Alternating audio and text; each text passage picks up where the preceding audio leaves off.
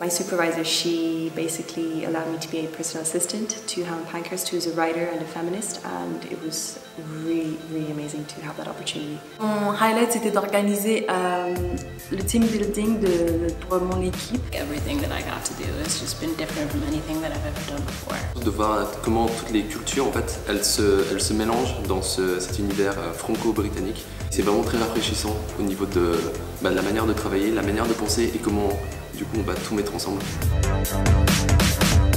Don't be afraid to speak up, don't be afraid to ask for help. Don't be afraid to like ask to learn as well. There are certain things I guess in an office that how things are, but like don't be afraid to like challenge that and like invite change.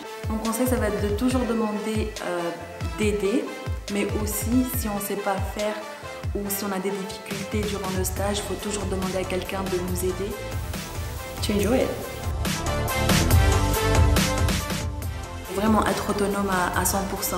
I learned how to use Excel finally, managing the workload because sometimes you get a lot of things to get done and you have to get them done really quick. I definitely improved upon the things that I already know. Being exposed to a completely different environment, a completely different group of people from like all over the world and stuff, it's really helped me like communicate. Ça se voit pas du tout, mais je suis vraiment très très timide et euh, j'ai vraiment beaucoup euh, fait un énorme travail dessus.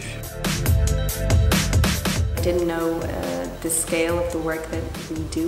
The cultural aspects, the educational aspects are amazing. So, and it's great to be at the heart of something like this. Ah, il y a très longtemps, j'étais un étudiant euh, ici. Les cours, c'est quelque chose, mais il y a la, la culture qui est mise aussi dedans. C'est super en fait de voir comment tout se, se met. I actually never heard of it before I got here. And then when I get here, I find out we're in like dozens of countries and work with people from all over the world. And I was like, oh, this is like a big deal. And like, so I guess my, my perception has changed the fact that like I know it exists. And I know that like it's really important and they do a lot of good work. The original person who was supposed to reply to the emails was away. So they um, told me to ask Bob Lewis. When I emailed him, I was like, you know, I got, I want to apply to this internship, but like, I don't really meet all the qualifications. I'm a little worried. Like, I don't think I should do it, and I don't want to waste anybody's time. And Bob emailed me back, and he said, dare to dream. And then I applied, and then I got the internship. I guess I would say dare to dream.